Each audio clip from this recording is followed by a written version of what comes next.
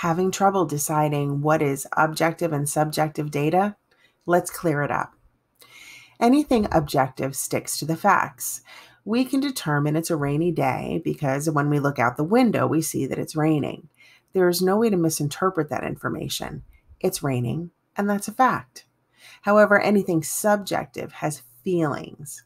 Only the subject can describe how rainy days make them feel or whether or not they enjoy rainy days.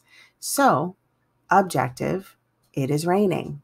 Subjective, I love the rain. Now go on out there and be the amazing nurse that you were meant to be. And remember, nursing is a work of heart. See you in the next video. Bye bye.